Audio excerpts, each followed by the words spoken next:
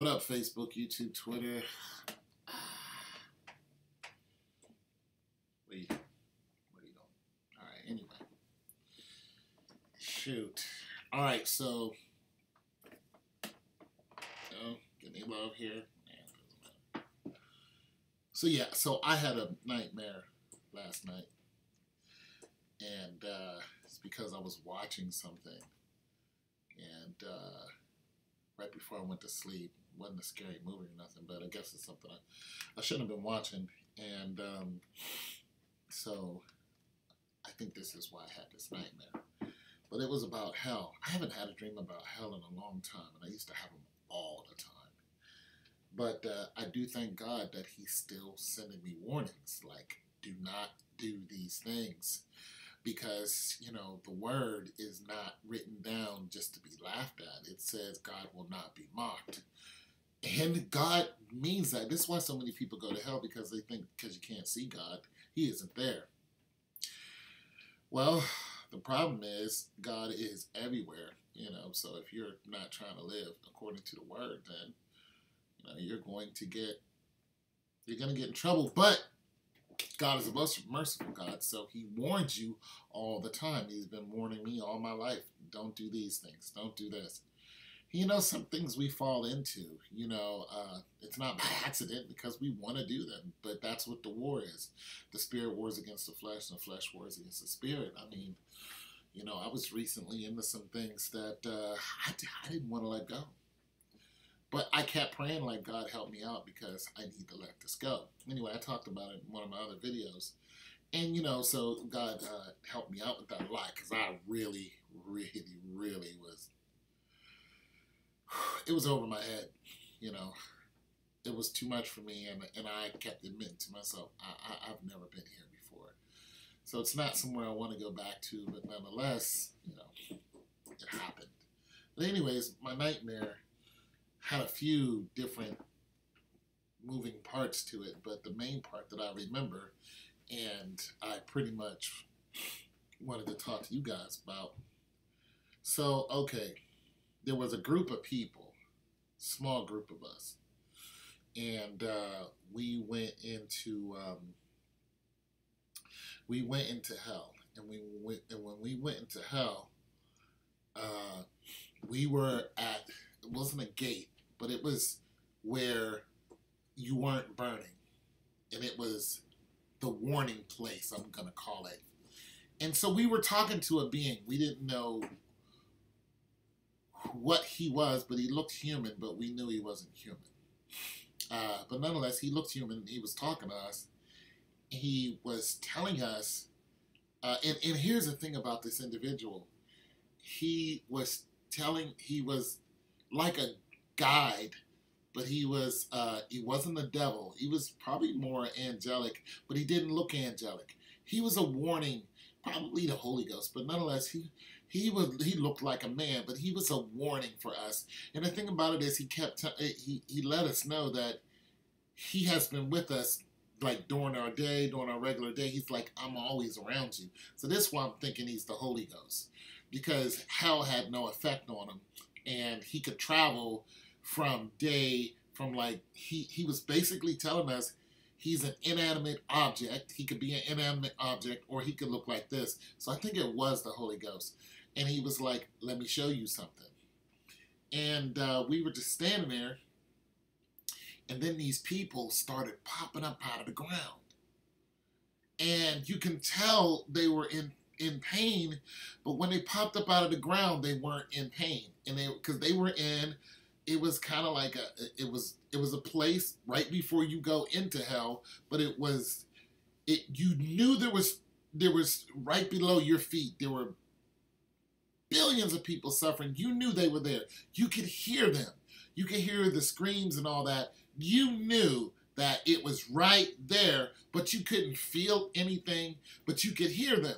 So you were scared, but the, the, the, the calm of this being standing in front of you didn't make you go hysterical. He, you knew it was a class. It was, I'm telling you this because this is not, not where you want to be. And just in case you don't believe me, I'm going to bring some witnesses. So these people popped up out of the ground, and we were looking like, you know, Adam, and there was three of them, and they were all men, and they started talking to us. And I think the reason why they were not in pain when they were talking to us because the pain of hell, you, you, you wouldn't be able to have a you know a decent conversation. It's just ridiculous of what's going on down there. Fire, worms, demons, you know, uh, bugs, and all kind of stuff. Just eat every diseases, everything, everything times a billion trillion down there meant to just tear you apart forever and ever ever. One second is way too much time there. And just imagine Jesus spent three days there just to save your ratchet soul. So nonetheless, so they came out of the ground and when they came out of the ground it was like they were miniature and then they grew to human size and they were standing there looking at us and they were naked uh, but you couldn't really see anything on them, but you knew they were naked. And you were just looking at them in astonishment, like, wow, did this just really happen? And then they started telling us about it. They were telling us this is not where you want to be. Do not come here. Uh, like there's no way out of here. It's it's the worst thing you ever want to imagine. And they were pretty much saying who they were uh, they talked about who they were on Earth and what they did with their time, but it was a very quick conversation because we were interrupted by a demon. And what happened was the ground itself came up and this demon tried to come through the ground. And all you could see was his face. And he said something in another language. And the people translated what he said. And it was like and we were like what did he say? He said they're letting them go so this demon was chasing these people who thought that this spiritual being was letting these people out of hell. And when they and when this demon showed up, I mean, we were in shock because he was all black and red, and he was ah, and he said whatever he said in his language, and then he went back into the ground. He's, you know, he said they're letting them go, and he went back into the ground, and and then the the three guys were in horror. And they was like, they were like, we're going back into hell. And we was thinking, why would you go back there? And they said, because this demon will torture you even more if you don't go back to where you belong. And I tell you what, I'm, I'm like, there's, like, I'm convinced that hell is real. There's nothing, there's, there is not one thing out there that can convince me that that dream wasn't real. And I've had several of them, and I'm telling you, there is nothing. And these people, they looked at us and they were in complete fear of this being. They feared this being. And they went back into a fiery furnace just so this being would not get to them. They jumped, jumped. I mean, and we followed them right until he jumped, this one being jumped into molten lava and disappeared. And he looked at me and he was in, and he, was like, this being, man, you like, you don't want this, like this dude will torture you even more. And he jumped back into the ground and disappeared. And they went back to a burning fire, raving fire to scream and holler, but they did not want it with this demon. Not one bit. When I say that all three of them jumped back in the fire, all three of those people jumped right back in the fire where they came from. It was like, like the fire's burning and all consuming, and you, like, there's no reprieve there. Like, you're burning and screaming and you're on fire forever, but you still, there, like, there's a worse than that. Like, ugh. It, it, it gets worse than that. He's like, this demon will torture you, and it is even worse. And the thing about it was, the demon was following him. He knew. He knew that there were three people missing. He was following them, and he followed them to where we were.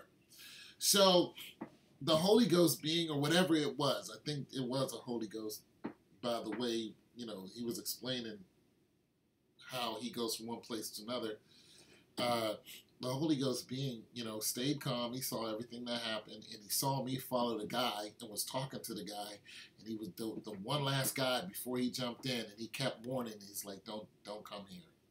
I'm telling you now, do not come here. This is not where you want to be." And he was so adamant about talking to me. He was so because he knew I was really, really interested. Like, what do I tell the people when I get back? And I think that's the thing. The people from hell can't come out and tell you what hell is like. So what happens is the Holy Ghost takes you to them. And you're thinking it's just a dream. Let me tell you something. That's not just a dream. Not and you keep having the same dreams about the same place. This is not a joke. This is not a dream. This that's not what this is. This is the one this is the one truth that you better not even pretend to play with. And I'm gonna tell you something else. For those of you who don't believe that hell is real, ask God. This is the one thing God will not even hesitate to show you. And I'm telling you, because there's a lot of people that think the valley of Gehenna, Gehenna was hell or is hell, which is outside of Israel where they used to burn the garbage and the garbage constantly burned. They think the valley of Gehenna is hell. That is not hell. There's some other places where there are fuels that constantly burn and they never go out and it's in the ground. That is not hell. There is more than fire in hell. And I've been there several times. That is not hell. And it proves that hell is inescapable unless a holy being gets you out of there. And what happens is what's happening is these holy beings are taking you to where you can't go and come out of. But they can. Because the Holy Spirit can go anywhere. Holy Spirit angels, they can go where God wants them to go. So the Holy Spirit will take your spirit, just like when Jesus called to the little girl and, and told her to, you know, he said she's not asleep, uh, which means she's not dead. Sleep and death is different to God. And he said, uh, she's not dead, she's asleep. We think when our body dies that we're dead. God says you're just asleep, meaning your spirit travels somewhere. So what happens is when your spirit travels somewhere, just like when you're asleep, God can take your spirit and guide you to somewhere. Sometimes different planets, sometimes looking at yourself in a hospital room happens all the time. A lot of times, sometimes he'll take you to heaven and say, This this is all yours. You know, you can run free and do whatever you want when you get here. And take you to hell. This is not where you want to go. I've been to heaven too. So it's not like I've just been to hell. God has shown me heaven, and I'll never forget what I saw. It was just, it was unexplanatory. the detail of heaven It was ridiculous, but it was so beautiful. Uh, but nonetheless, so at the end of the trip, after they jumped back into the fire, it just they jumped into molten lava. They jumped into a pile of lava, red and black. They jumped into it. When they jumped into the lava, the being that was the Holy Ghost uh, pretty much was escorting us out. It was like, it's time for you to go. It was like going into a building. He escorted us out. And then I looked at him and I was like, well, who are you? And he looked at me and he's like, you don't know who I am? And I was like, no, I don't. And then he said, look at me. so I started looking at him and I kind of touched him and he turned into an inanimate object. He turned into like a box or something. And it was something in my house. And uh, then, uh, you know, there was another being with him that said something to him, and it rang like, oh, I and I was like, oh, I remember that. And we all started laughing. He's basically saying that I'm with you all the time. You know, I'm always around you. I'm always watching you. I am always with you. And the reason why I had this dream is because I was doing something yesterday that I shouldn't have, and he saw it. And he was like, okay, well, since this is what you want to do, maybe I need to refresh your memory on where this is going to take you when you die.